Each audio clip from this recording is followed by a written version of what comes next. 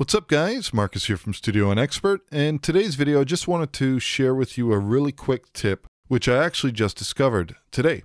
So as some of you may or may not know, sometimes in Studio One we end up getting this view with the sends where they're off center from each other. And a really quick and easy way to deal with that is just hover your cursor up top over here, double click, and we can realign these.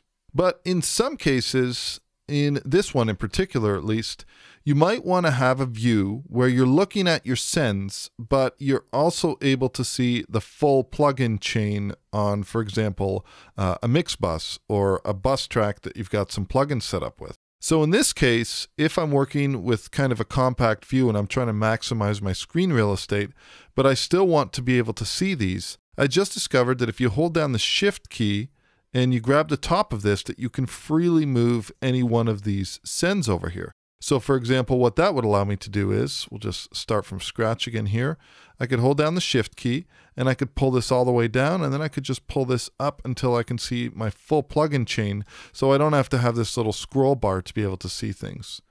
And this is useful for especially if you have one plugin uh, expanded like I do with this VU meter. Now I can see all of my sends over here.